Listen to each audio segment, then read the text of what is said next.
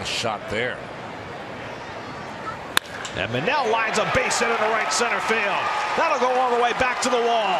Recker's in to score. Tejada digs for third. He's being waved home.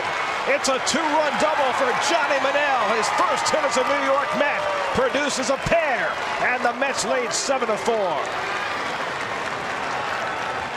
Well, we saw that all spring training long from Johnny Monell. What you see is that when he makes contact, he hits the ball hard. He did last night on the comebacker, and here hits a bullet that gets to the wall.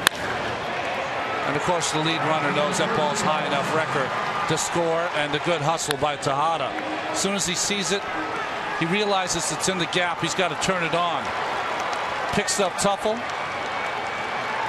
and the Mets have seven runs.